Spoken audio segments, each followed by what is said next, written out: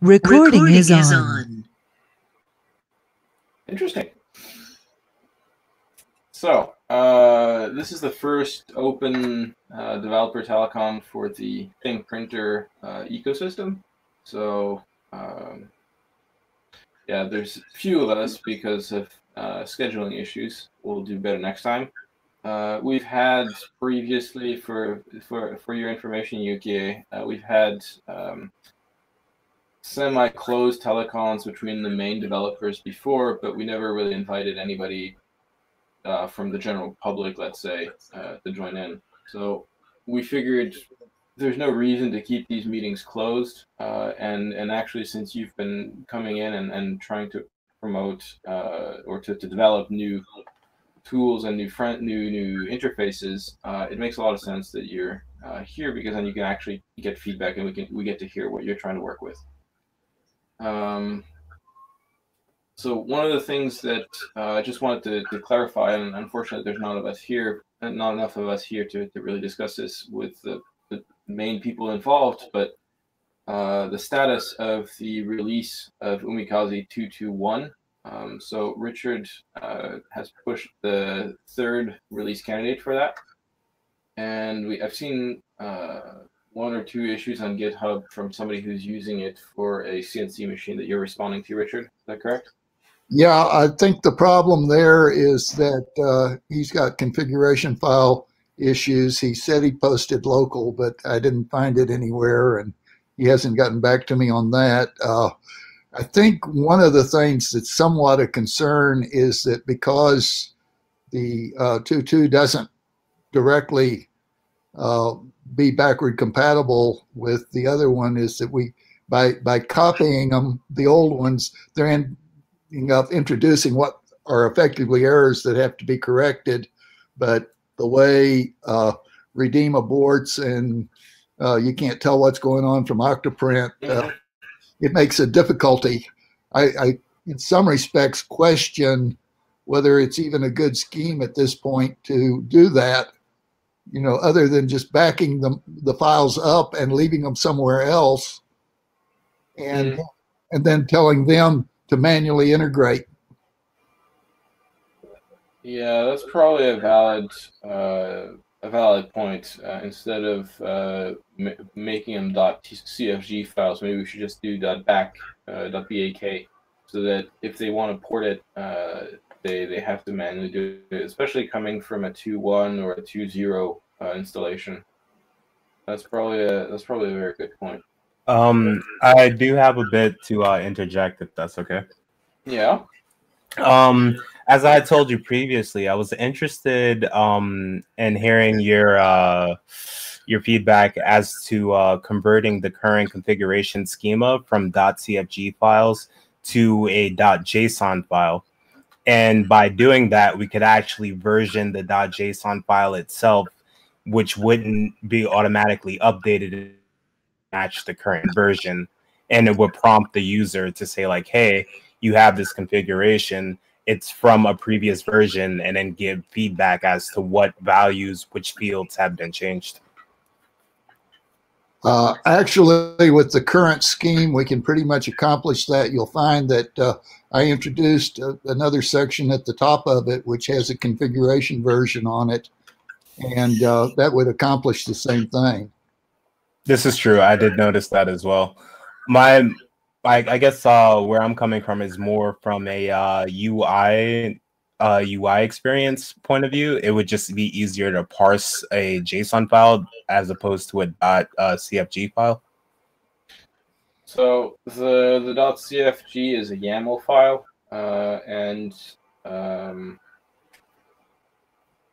we can, frankly, at this point, what what you're what looking at it from my perspective, you're both proposing similar changes in terms of versioning, and then what you're talking about um, is just changing the syntax from YAML to JSON. Effectively, uh, yeah.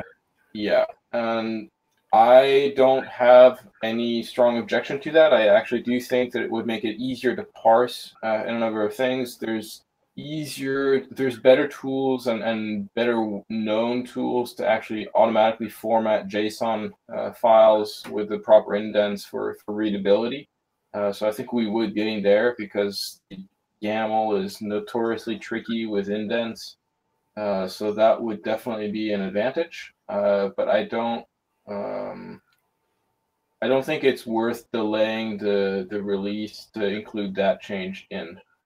Whereas, Not at all. Uh, whereas what Richard is introducing in terms of version control and configuration, that may actually make sense to introduce um, into the release to actually get uh, to, to actually prevent people from breaking redeem because of an old config uh, version. Agreed. I, I I hate delaying it more because it's been way too long since we've been working on this. But I think uh, you're right. Uh, We I haven't had time to actually think about the deployment of this before uh, and how it would affect users. Well, let me let me inject the other thing. The problem that I have with JSON is that you almost have to have a tool to edit it. Well, it's it's easily editable from any text editor. Uh, yeah, if you have it properly formatted and reformatted and stuff like that. I mean, I don't have any trouble doing it, but I worry about, you know, the really uh, novice type user in in terms of uh, being able to edit it. Well, in that aspect, um, I do have a uh, VS Code uh, uh, web interface that would be for the uh, the pro version of the uh, interface. So instead of going through the web UI, you could actually just go in and have syntax highlighting and syntax correcting with linting and everything. It's wait, wait, wait. Before we go deeper, I think we're, we're talking about two different things. The, the the JSON that we're talking about is for the redeem configuration, right? Yes. Yeah. So um, the YAML file right now, yes, it's easy to edit because it it needs nothing more than a couple of spaces and the proper section headers. The advantage of JSON is uh, specifically the ease of parsing and that it doesn't care if it's a tab or a space and it, it doesn't care about indent levels. So it, it's a little bit more free form in terms of syntax at that level. At the same time, I understand Richard's concern. What I would suggest, though, is that we should, if we do try to move to JSON, what we can do is modify the uh, text editor for that's built into the plugin in Octoprint to actually uh, automatically format the the values. And and actually, this is something that we've been discussing for a while is to transform the that editor into a kind of a table as to what values you set with a predefined buttons so that it gets added in the right section and you set that you only have like a free text field for the value but it does some validation in terms of oh you want to put a value here so let's make sure that you know what the unit is afterwards and if it's meant to be a number then i will not accept any characters which are common sources of typos that we've seen Um, I guess I would say in that aspect, with the uh, UI that I'm working on, the Mhm. configurator actually currently does that. It's not completely fleshed out, but it won't let the user input any invalid uh, values. Yep. Yep. And, and Unless, unless you're in pro mode. If you're in pro mode, then there is no uh, value like Right. uh, assertion. Yeah, yeah, yeah. Uh, I, that's uh, that's a very uh, very good approach. And and so what you what you're developing is an interface that's basically to control redeem by removing Octoprint as a layer completely. Yeah. Okay.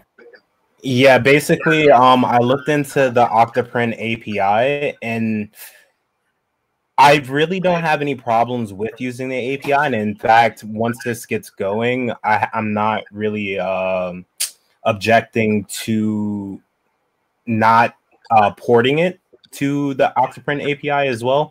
Um, the problem that I have is that the API seems somewhat bloated and convoluted for really what we need. Like the thing about Octoprint is that it's kind of like a jack of all trades, master of none. Really like, and it- it's fantastic. But I feel like the way that it's implemented, there's a lot of unnecessary things that you end up not using, but you're still paying the performance penalty for. I totally agree. Yeah, it's I, I, I agree as well. Uh, it's just that up until now we didn't have anybody willing to put in the effort a diff interface. and it made more sense for us to focus on using Octoprint, assuming that Octoprint will get better and allow us to remove and cut out some of that bloat with uh, future versions. Um, unfortunately, we've noticed that uh, the efforts in that regard have been relatively slow on the Octoprint side of things. And especially because the main target for Octoprint seems to be running it on uh, Raspberry Pi 2 3, uh, mm-hmm. which has a lot more horsepower, a lot more memory. It's not uh, as friendly towards uh, weaker systems like as it used to be anymore. And so as a result, the performance on a BeagleBone has degraded significantly over time. So um,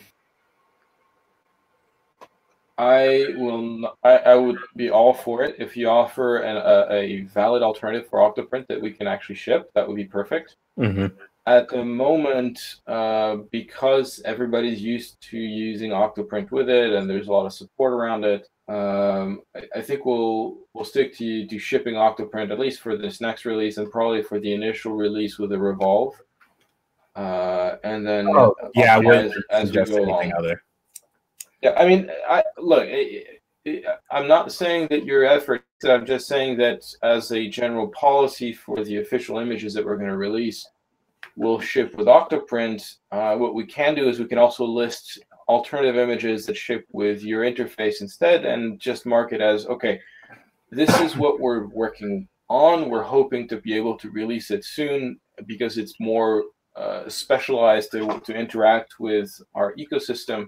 Uh, however, it's still under development, so it's a development version of, uh, of, of the image and not a full um, like stable supported release.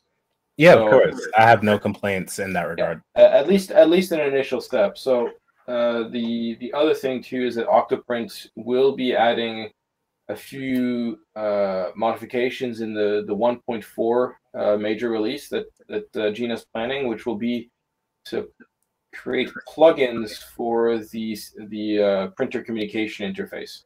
Uh, because at the moment, a lot of the bloat that you're mentioning with the regex and the G code parsing and all the, these fail safes that's happening is because she's got only a single point of entry to any printer, and so she did, she does all sorts of stuff like firmware detection, uh, G code validation and uh, handling multiple types of G codes, et cetera, et cetera, et cetera. So it just adds on to the, the extra bloat that really we don't need uh, because we are once we can actually write our own plugin into how Octoprint is going to interact with Redeem, then all that's left of Octoprint is the REST API, uh, the web UI, and the plugin the plugin system for anything else that we tack onto it, which will be pretty much just the configuration wizard uh, that I'd like to eventually develop for Redeem and Toggle. And uh, that's already the, in the works on this one. Yeah.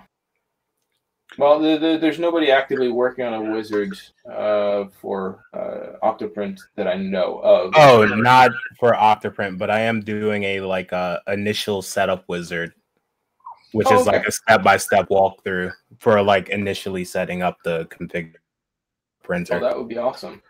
That would be awesome. I, my my only concern is that we not make our decisions based on this is what Octoprint wants to do, but rather just base base it on the idea that we're going to have an interface out there doing it, whether it's Octoprint or the one he's developing or something else. I mean, hmm. uh, no, I, the guy that's working I, on CNC is uh, you know, he'd, he'd, rather have something that looks like the Grbl control panel. Uh, yeah.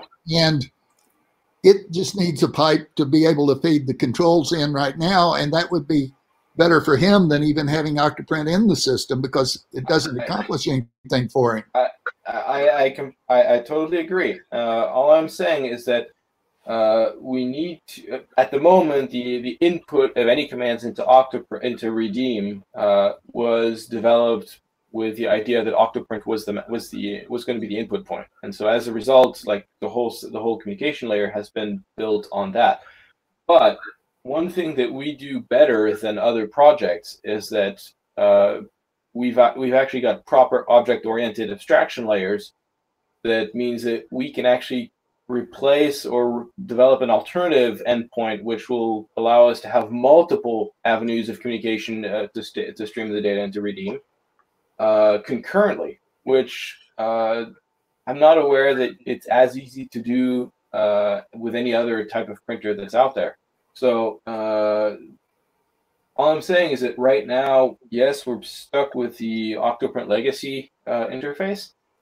I look forward to being able to actually write a more optimized and efficient version for Octoprint based on the 1.4 uh, uh, plugin for the communication uh, layer instead of having it uh, having having Octoprint force us to, to use just a serial pipe.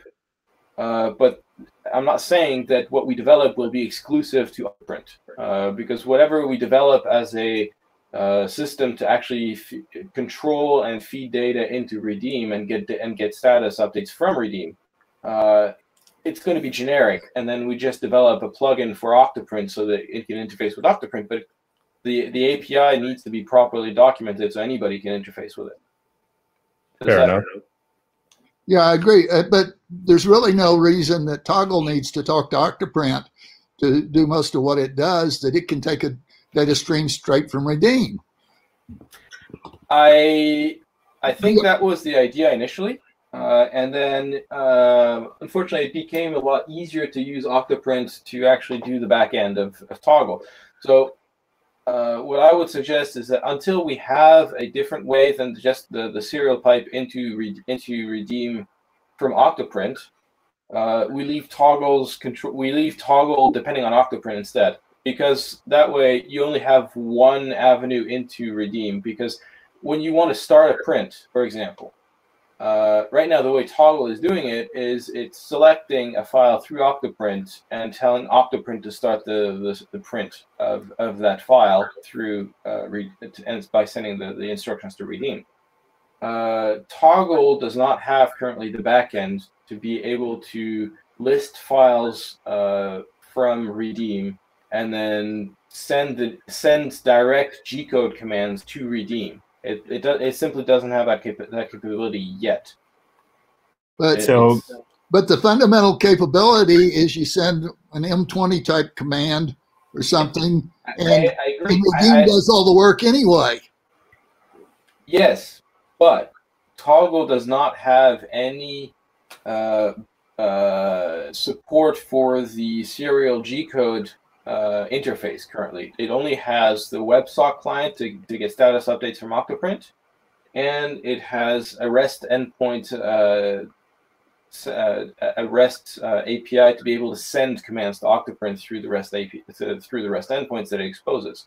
Redeem doesn't expose either a, a, a, sock, um, a WebSocket or a REST API for Toggle to hook up into. So what I'm saying is we need no, development it, there. It, it, no, it exposes a pipe that you can send commands down. Uh, Toggle does not expose a pipe. Yes, Toggle doesn't know how to use a pipe. No, to- Toggle doesn't know how right. to use it because it's chosen to go through Octoprint, but it, exactly. yeah. it could send those commands directly down the pipe into Redeem. Yeah. Yes, and that's and, and so what I'm saying is that until we have a proper way, because we we've had we've, we've had discussions, and I think we agree on this. Is that the um, the fact that we have only a serial a single serial port that does uh, flow control, status updates, and uh, path the data input for Redeem is a problem in terms of having proper real-time communication and uh, speed of communication as well. We, we know we've got a performance impact when we've got uh, very detailed models uh, that that have a lot of small segments. But I'm not I'm not proposing that we use that kind of interface for toggle to send the contents of the file to us, but simply send the one one command to redeem, which says print this file that's already in your storage. Yeah, I no, I I understand that, uh, and the, the what I'm saying is that toggle currently is set up so that it, it depends on Octoprint and I would prefer that we develop the uh, proper communication interface for Redeem first, and then modify Toggle once we have the specs down. Um, out of curiosity, um, could we not just build a uh, abstract interface that could basically proxy any backend that we wanted to, to like make it generic as to which uh wh- which protocol we would be using?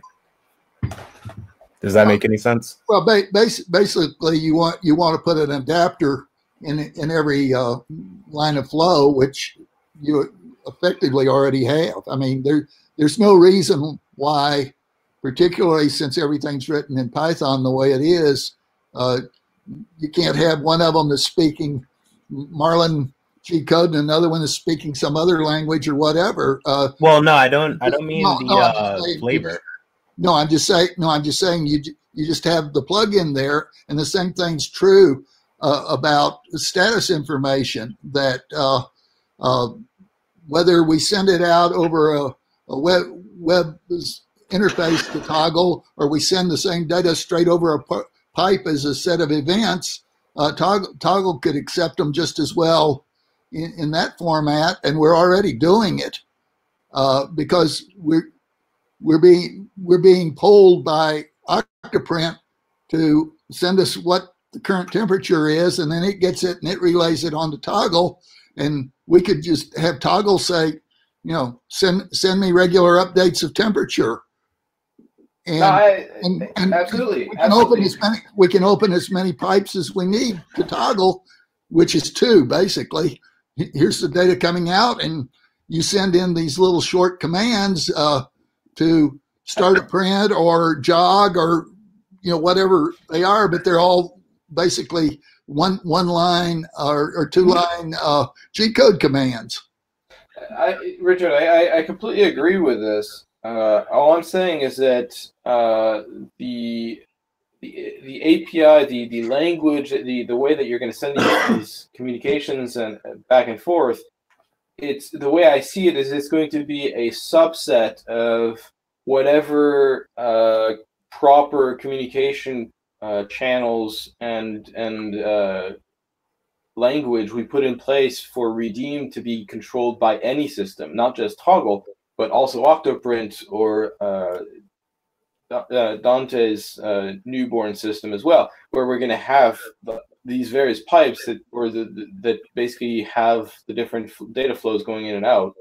Uh, I want us to define those first, maybe test it out with Octoprint uh, to see that we actually validate the development there, and we have, and then we can actually have Toggle shift over and use those directly.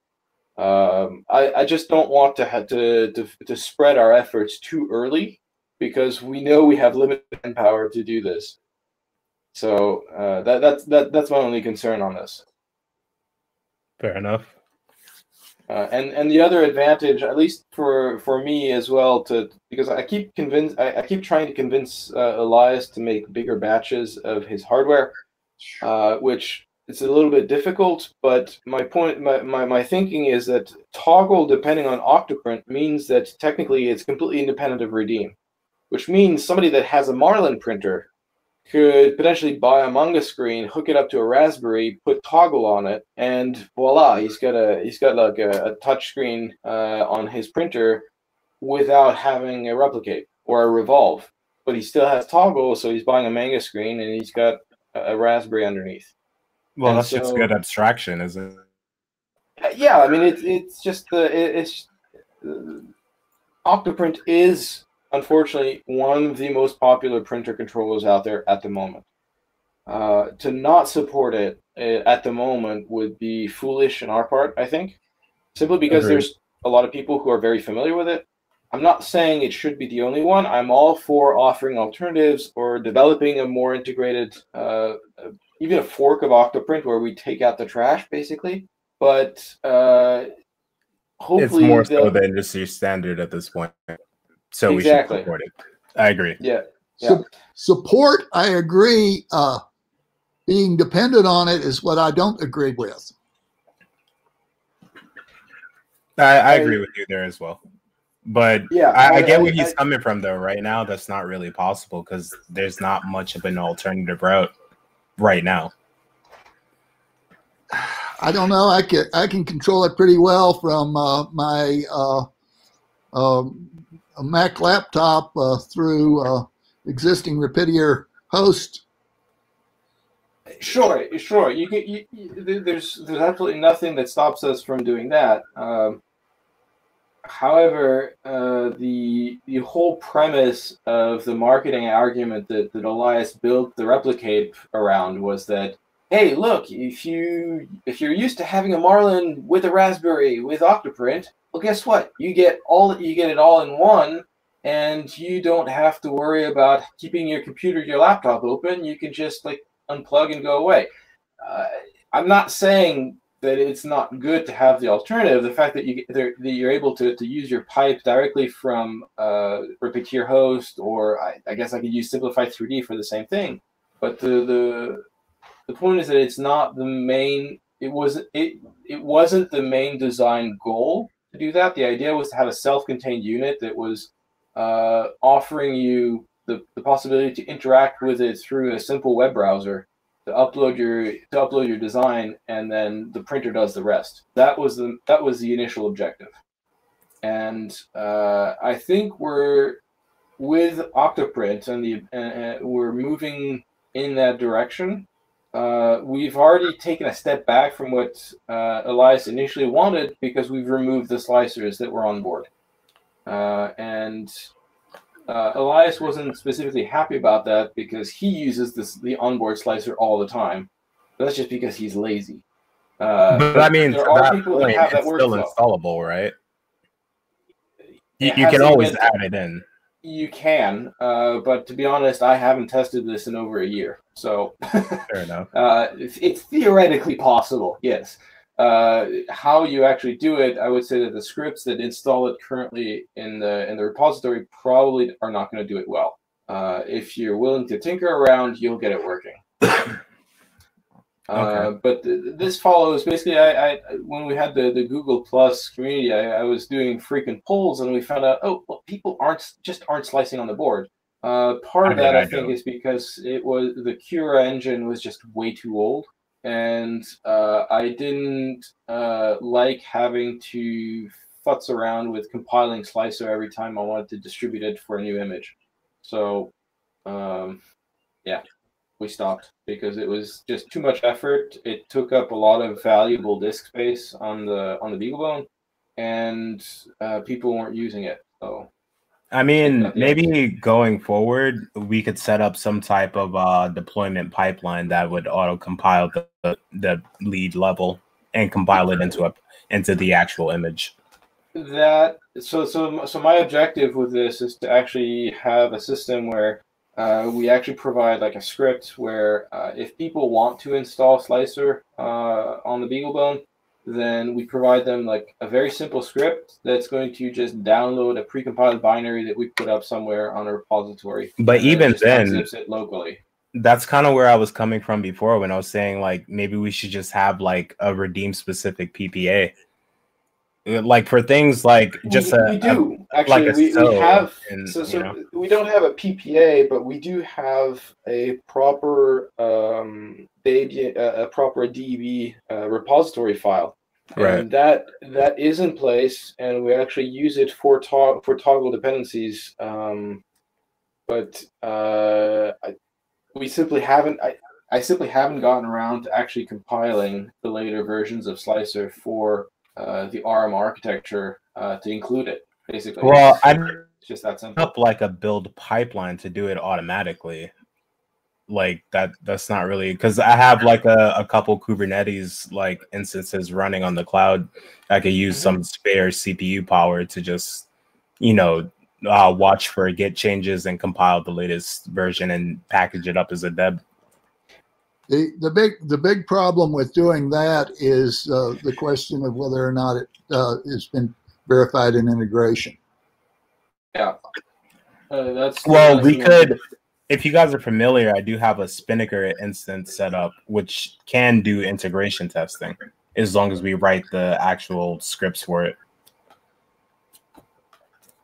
That might be worth investigating. Uh, at the moment, uh, I, I want to say we're, we still need to finish up the uh, the two two one release, uh, which will not have slicers built in. Uh, uh, I would prefer being able to just provide a, a, bash script where it's just like a basically a curl and an unzip into a specific folder, maybe some seds to add the the proper file paths to the slicer and octoprint configs, and and and just leave it at that for, for, at least for at least initially, and then move on to something a little bit more. Uh, robust and proper but at the moment the demand simply hasn't been there fair enough um, so, um, yeah, the other thing too that we're still working on is, or that Andrew actually is, is working on most, is the port of Redeem for the Revolve board. Um, so uh, I know from my interactions with him, and uh, I stopped I stopped by to see Elias uh, in Oslo uh, last weekend on the, actually on Tuesday uh, when I was flying home from vacation and uh, it seems like um, there was a slight flaw in the in the pre-series of revolve boards that he received, where one of the resistors that was meant to be a one kilo ohm turned out to be hundred kilo ohms, which uh, in turn means that the the power uh, circuit was uh, heating up a lot more than it was designed to. Um, so it was reaching 105 degrees Celsius, running Jeez. 10 amps instead of uh, running, you know, without a fan on. And what was it for? The uh, voltage divider or something? It, yeah, it's a voltage divider on the PMOS that was wrong. It's like uh, not even a. It's not even a voltage divider. It's a. It's a drop down for the for the gate. Okay, fair enough. And uh, yeah, the the fact that the voltage was too low means that it was basically heating up way too much for some reason. And so um, he replaced it on on his boards uh, in his office, and basically he's now able to run 16 amps continuously with uh, with active cooling on the board. It's still not enough, and he knows what's going on. Is basically the the copper uh, um, diffusion surface underneath the, the, the, chips are, are basically too small. So he's redesigning the layout a little bit to, to combat that. Okay, so he's increasing the copper weight to handle more current. Uh, not to handle more current, to diffuse the heat, because basically, uh, I'll, I'll, show you on my prototype. Uh, I don't know if you'll see it very well. The uh, you remember the Replicape had a fuse on the input, so this is the this is the input here, right? And uh, instead of having a fuse, he's got two uh, PMOS uh, chips right here, right my right my my finger is. Right. These are tiny, uh, but they can handle a lot of current. The problem is that they diffuse a lot of heat. Right. So what's happening is that uh, kind of like for the stepper drivers, we've got these these copper pads underneath. There's a copper on the second layer, so it's a it's a four layer PCB, so two top, two bottom uh, from the fiberglass, and on the second layer underneath those PMOSs, there's no uh, there's not enough uh, surface area to really diffuse the heat through the board. And so what he's doing is he's he's making that area bigger to diffuse the heat that's generated, uh, so that the so that the the chip actually stays cool. Okay, fair enough. Um, I guess built-in heatsink. In in that sense as well, um, at least with my uh my uh, B3A, I ended up having to throw a bunch of heat sinks on it to uh support the uh, output because I run my motors pretty hot with high amperage. I have my reasons, but it's mostly testing. Um, with the new Revolve board, how how exactly do you guys envision the cooling so- solutions to be on that? Uh, much like the Replicape, except it'll be simplified. Uh, like I noticed, I, I, mentioned earlier these little copper pads. So on the Replicape, right. technically the heating, these are these are basically like through pads to straight, like just plain straight copper uh, with heat pipes to bring the, the heat down from the driver. Mm-hmm. And so um, ideal cooling on the Replicape is the same thing where you've got you put your heat sinks on the, on the copper pads on the bottom and then you run a fan through between the BeagleBone and the and the and the Replicape. Now, because it's a small sandwich with the cape, it's it's very difficult to, to actually get heat sink small enough and uh, avoid short circuits and also get the airflow you need through there because of the Ethernet port at the end. So uh, this is simplified now that you've got only a single uh, PCB layer, but even then, even if you only put them on the top, you you, st- you still just need to put like the same the same heat sinks that you had on the Replicape. You just put them on top, and that's it. Okay. Yeah. Um, so I'm I, I, I don't think that's gonna I, I'm not worried about the driver situation in terms of heat. The the power circuit though is a problem because right now we cannot run more than 16 amps in the in the A3 boards. Um, so he's uh, I think I, I think it's going to be the A4 version that's uh, probably going to make it to production. Well, how And- how many amps are you guys trying to push at peak? Well, so the the Replicape was able to handle 20 amps right through the fuse. Yeah, we had a 20 amp fuse. Yeah. And now on this board, we've got an extra stepper, we've got two extra heaters, um, or one extra heater. I don't remember. One extra heater. And so uh, we want to be able to actually push more, uh, more at, at least 20 amps, uh, if not more. That the, the baseline is to keep the specs of the Replicape and potentially and potentially improve on them. Okay. I'm looking forward to this new board. Yeah, it's going to be. It's definitely going to be a, a very good uh, setup.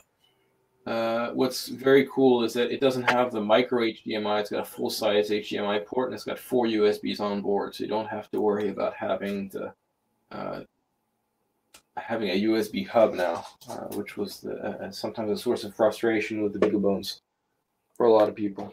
Yeah, that brings me to my next question. Uh, to my knowledge, the uh, original Replicape, well, not Replicape, but the original BeagleBone, did it support 2.0 or 3.0? I'm pretty sure it was 2.0. 2.0, yeah.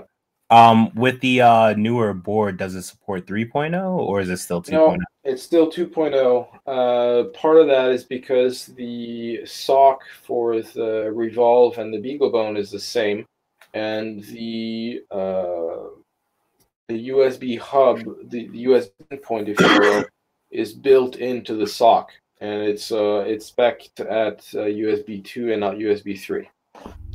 Okay. However, it should give us uh, slightly better.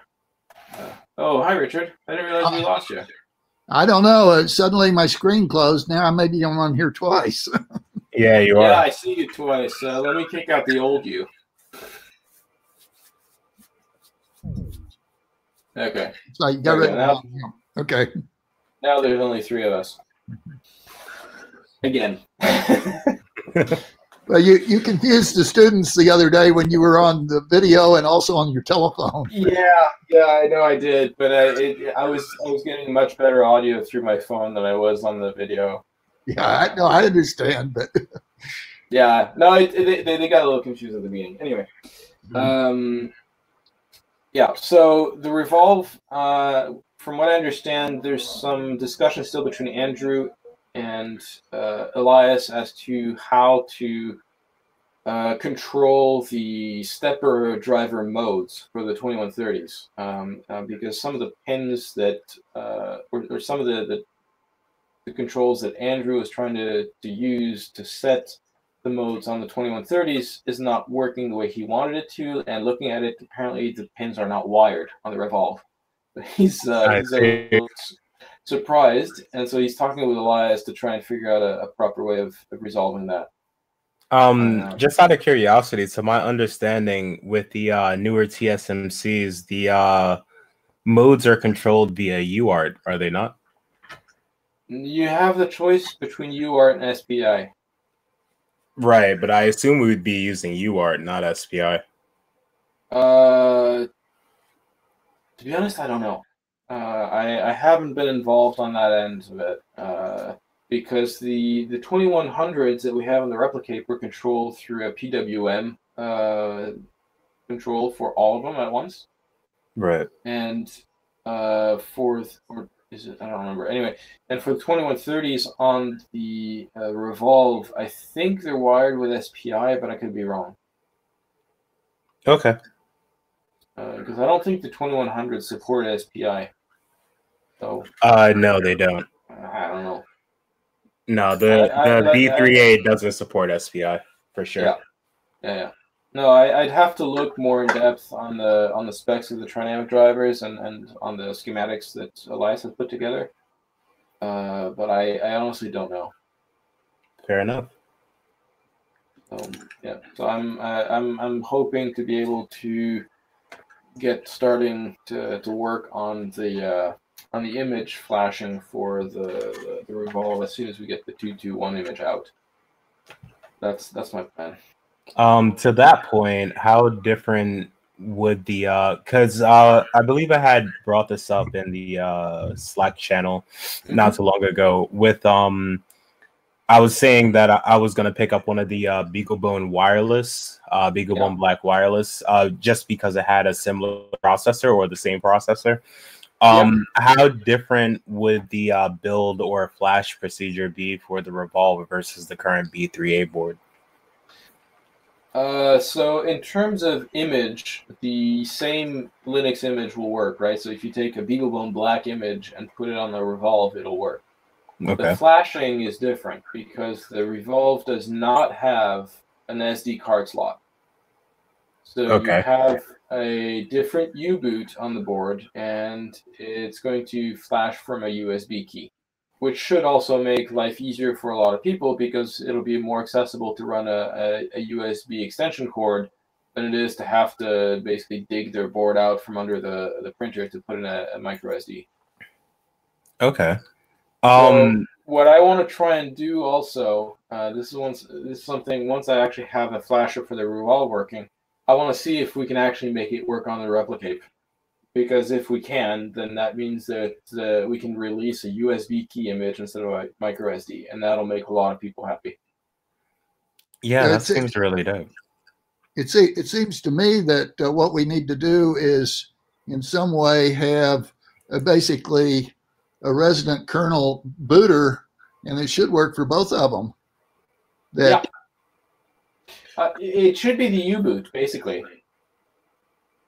if you if you have a or the not the well you you may you may have to have an init ram to go with it to uh, actually yeah. process it but uh, i mean that's right. all you need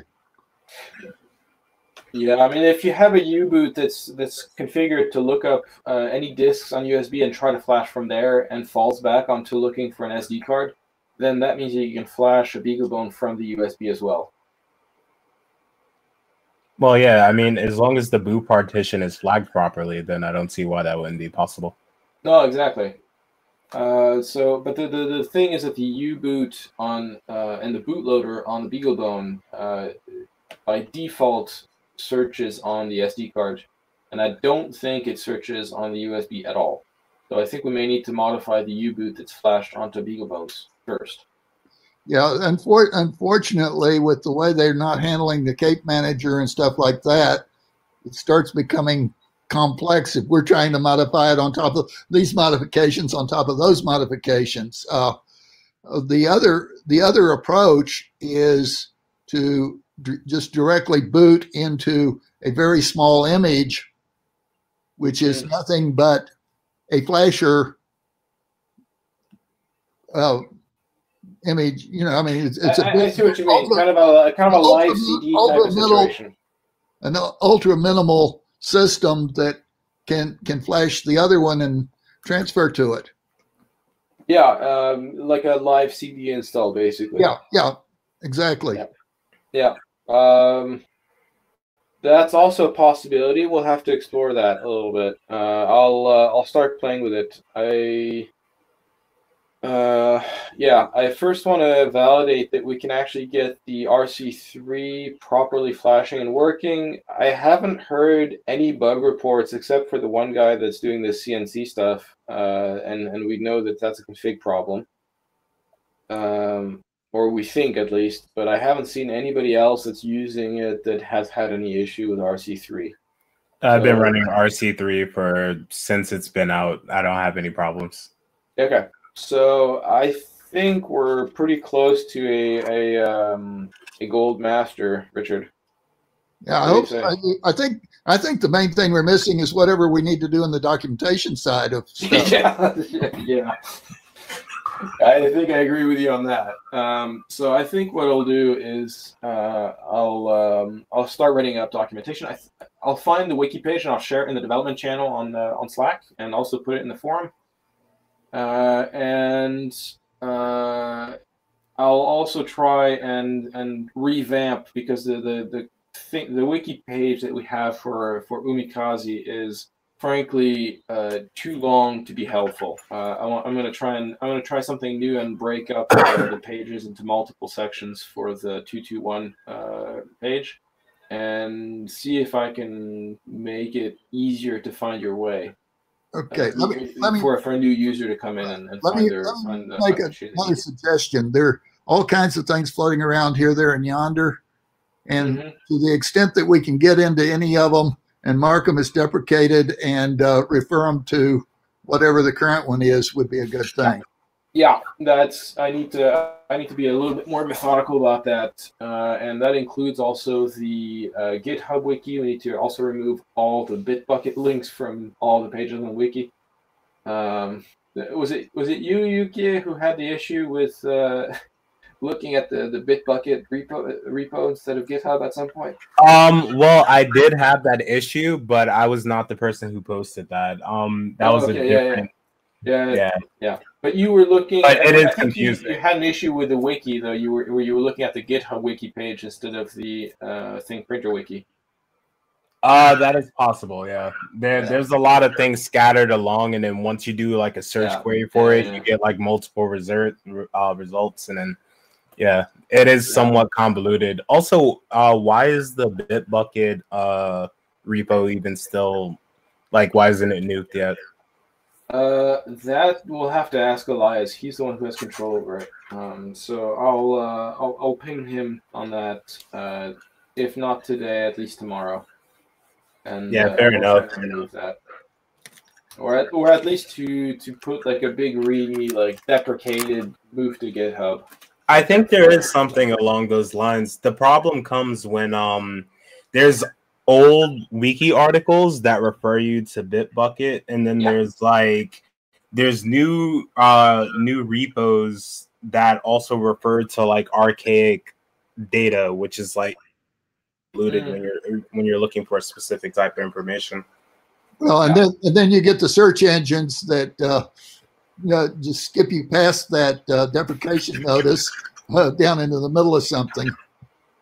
Yeah. So okay, so action points for me are to to try and get Elias to nuke the Bitbucket, uh, go through the documentation and uh, make sure that we all the scattered pieces at least direct users to one single point, and if possible, centralize the documentation and and unify it in a, in some way. Um, it's not going to happen instantly, but uh, I, I think Richard, we can probably.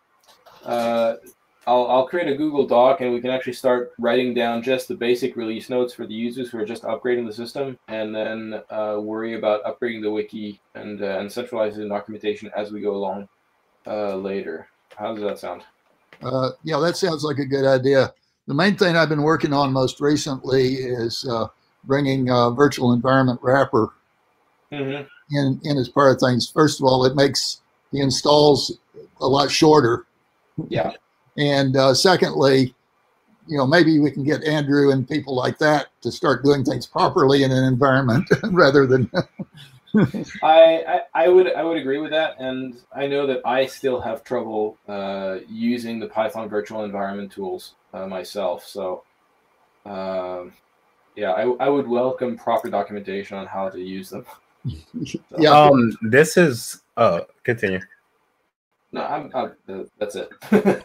Oh no, I had a question because um I was actually trying to set up um some uh BeagleBone Black emulate uh emulization the other day. Mhm. Is there any uh resources that we have available on how to configure that? You Uh, mean running a virtual? Uh, Well, ARM basically ATEX emulating the the ARM V8 uh processor and just running the image natively. Well, emulated, you know what I mean? yeah. Uh, so I'm I managed at some point to do it with QEMU, and I think I had some links about that. Yeah, I, I Uh, got the QEMU links. Yeah, and uh, I, I managed to do it. The problem is that with the limitations of QEMU, you were limited. I was limited either I had the right processor, but I didn't have enough RAM, or I had an issue with uh, the what the storage uh, disk looked like, and so it, it was it was running, it was slow, and it wasn't particularly efficient. Uh, and so, uh, as a result, I think what uh, Richard and Andrew are doing to, to actually build the images from an ARM-HF uh, architecture machine is they, they actually have an Odroid uh, or um, now. Uh, Yeah. it- He's got, he's got No, a- Droid. yeah, Uh, you've got an Odroid, but Andrew has a different machine. I forget the name of it, He's got a uh, newer which is one. also yeah, it's, yeah, it's not an Odroid. It's a different brand. Um, in any case, it's uh, basically it's a souped-up ARM uh, machine that runs a, a chroot and, a, and and and builds the image in that. Oh, okay. Um, and so that's how we build the images. And of course, the only way to properly test the integration is to, is to boot it up on a Replicape uh, or a revolve. Right. Um, because in any case, even if you manage to run uh, Umikaze on a BeagleBone without a Replicape attached, you'll not be able to start redeem and validate that the, the integration, let's say, of the full stack is, is properly set up. Yeah, that's kind of where I was coming from. Uh, because I was uh focusing on uh getting the uh US so that I can communicate, start doing uh some com- communications between the uh front end and the uh actual server and redeem service itself. So I was trying to figure out a more efficient way to do that instead of like copy and pasting or like sh uh instead of like uh s uh ftping like the files over and restarting the service and everything. Yeah, I can understand the frustration there. Um,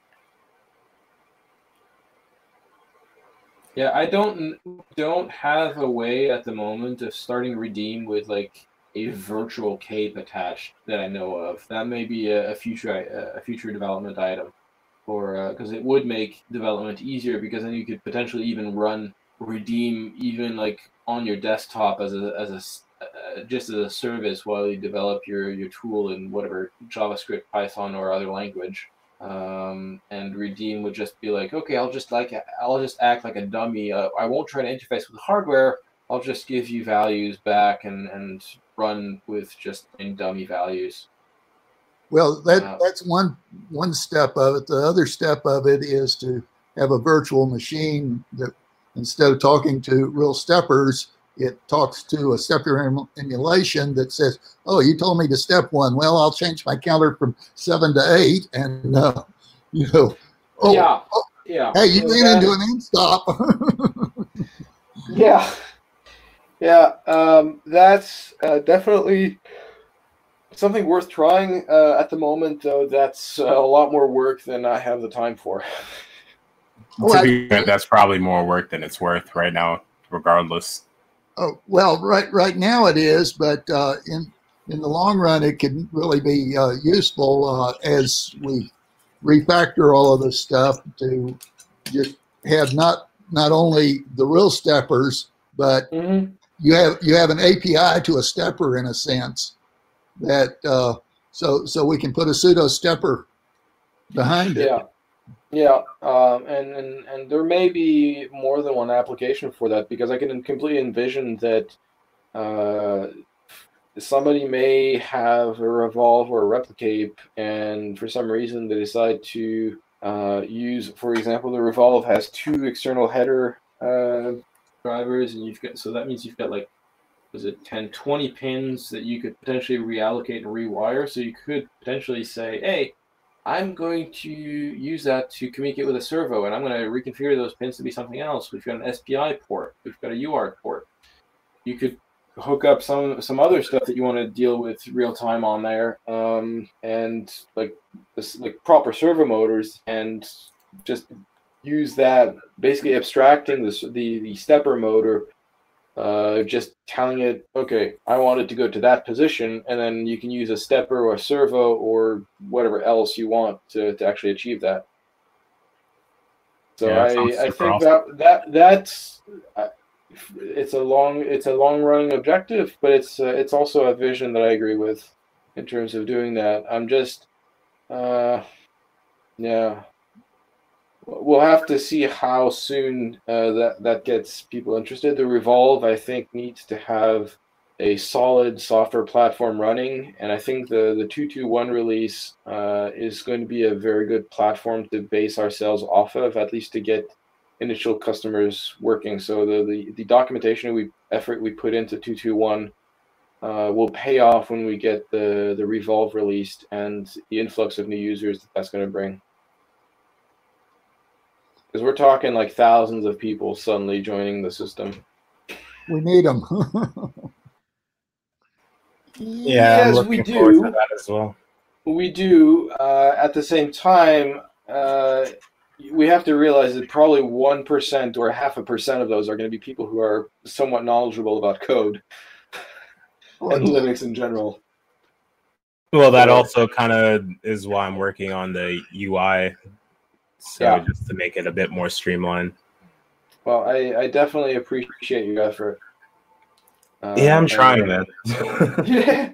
No, I mean, I like, um, like I said, the the final design for the Revolve is not ready yet for mass production, so that's probably going to be what the, the design is probably going to finalize. I want to say in May or June at the earliest. I, I I honestly don't know. There's there's a lot of stuff that Elias still has to finish on the hardware he told me he's working on a, on a video update that he's going to send out when it's ready. Uh, so that should be another week or so before we see that, and he's going to detail kind of the work that's that's ongoing. Um, but he he wants to get it out as soon as possible. So that's uh, that's the good news.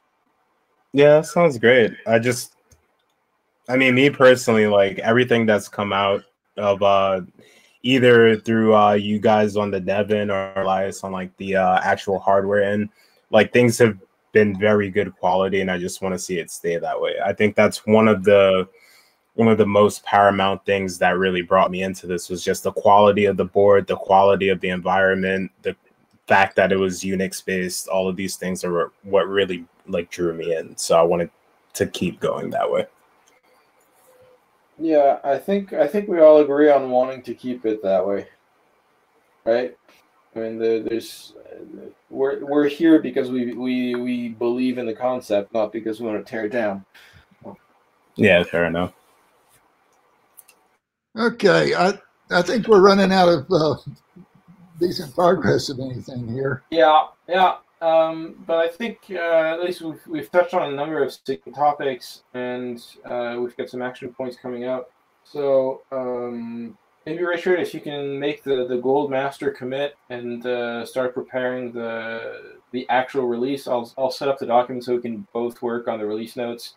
And uh, for people who've been using RC3, we'll, we'll ask them to review the, the release notes before we actually publish the publish them on the release um, just so we make sure that we cover everything that's that's been going on. Yeah, I mean, I don't I don't know that there's anything to do uh, to create a gold master except get the documentation into it and uh, uh, drop another tag. yeah, basically. Uh, I, I think I agree with that, uh, given the given the lack of issues coming up with, with RC3. So, uh, yeah, we just need to make sure that we get it out. So I'll uh, luckily I've still got tomorrow without my girlfriend uh, before she comes back from, well, that's lucky. as well. yeah, it's it's a good use of my time, and the weather's been well wet, so that means that my flying toys are staying inside. so okay, um, great. So uh, I'll stop the recording if I can, and we'll consider this a finished. Uh, Uh, thank you for joining, and hopefully there'll be more of us next time. And I'll try to have a, a little bit more uh, prepared of an agenda. I had some some rough ideas of what to discuss, and we covered most of it. So, thanks.